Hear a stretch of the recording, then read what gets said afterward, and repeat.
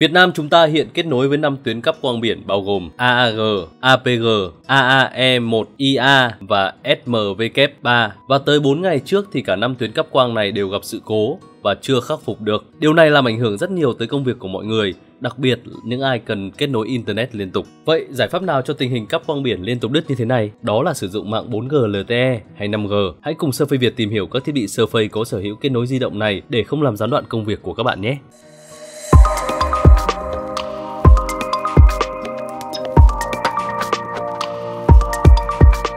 Một Surface Pro 9 5G Đứng đầu danh sách này chính là thiết bị có kết nối 5G nhanh nhất và tiên tiến nhất hiện nay, Surface Pro 9 5G. Microsoft đã hợp nhất dòng Surface Pro và Surface Pro X trong năm nay. Phiên bản Surface Pro X đã trở thành Surface Pro 9 5G, nhấn mạnh vào kết nối di động vô cùng hiện đại này. Máy vẫn sử dụng trái tim là bộ vi xử lý di động Microsoft SQ3 dựa trên Qualcomm Snapdragon 8CX Gen 3 với 4 nhân ARM Cortex X1 và 4 nhân ARM Cortex A78. Dĩ nhiên là xung nhịp sẽ khác đi một chút, đi kèm với đó là modem 5G Snapdragon X62 hệ thứ tư cung cấp tốc độ cực nhanh lên tới 4,4 GB trên giây trên nhiều mạng, tần số và băng thông trên toàn cầu. Surface Pro 9 5G được trang bị màn hình Pixel Sense Flow kích thước 13 inch với độ phân giải 2880 x 1920 tỷ lệ 3 chia 2, mật độ điểm ảnh 267 ppi, tốc độ làm tươi biến thiên từ 60Hz lên 120Hz để tối ưu về thời lượng pin. So với Surface Pro 8, màn hình mới này hỗ trợ thêm Dolby Vision IQ, mang lại trải nghiệm HDR tốt hơn và tính năng tự động quản lý chế độ màu sắc. Nhờ lợi thế sử dụng con chip mới Microsoft SQ3 mà Surface Pro 9 5G có hiệu năng tốt và tương tự ứng dụng tốt hơn các thế hệ trước. Hầu hết các ứng dụng cơ bản đều tương thích tốt và chạy mượt trên Surface Pro 9 5G. Sự vượt trội về hiệu năng của 8CX Gen 3 đó là lý do nó sử dụng tiến trình mới 5 nanomet, sử dụng lõi Cortex X1 tùy biến với tên gọi Creo 6680. Về lý thuyết nó giống Snapdragon 888 được tinh chỉnh lại nên sẽ cho hiệu năng tốt hơn. Vì vậy chúng ta hoàn toàn có thể tin vào hiệu suất làm việc rất tốt của Microsoft SQ3 trên Surface Pro 9 5G.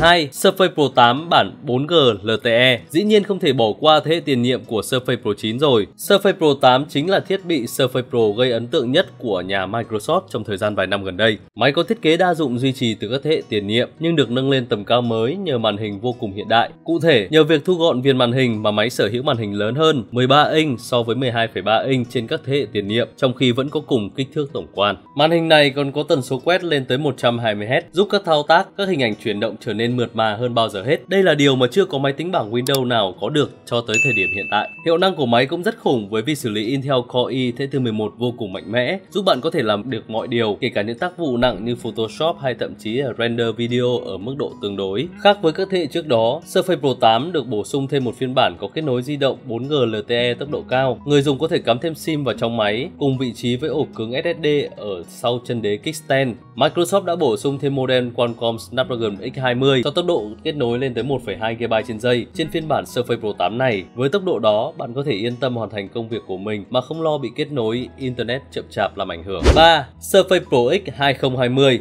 Thật đáng tiếc khi Microsoft đã không duy trì kết nối di động trên dòng Surface Pro X 2021. Thế nhưng, bạn vẫn có thể lựa chọn Surface Pro X 2020 nếu muốn có kết nối 4G LTE. Nếu Surface Pro X 2019 chỉ được trang bị con chip Microsoft SQ1, một biến thể của Snapdragon 8CX, thì trên Pro X 2020, Microsoft đã mạnh dạn trang bị thế tiếp theo của con chip di động này với tên gọi là Microsoft SQ2. Con chip SQ2 này thực sự mang đến hiệu năng tốt hơn thế tiền nhiệm, giúp máy hoạt động nhanh hơn, mượt mà hơn. Không chỉ vậy, nó còn được tích hợp modem LTE Snapdragon X24 cho tốc độ kết nối lên tới 2 GB trên giây nhằm giúp phục vụ tốt nhu cầu kết nối liên tục của người dùng tốt hơn. Và vấn đề tương thích ứng dụng của các con chip dựa trên cấu trúc ARM nay đã không còn đáng lo ngại nữa vì nay Windows 11 đã có thể giả lập x64 cho các thiết bị ARM.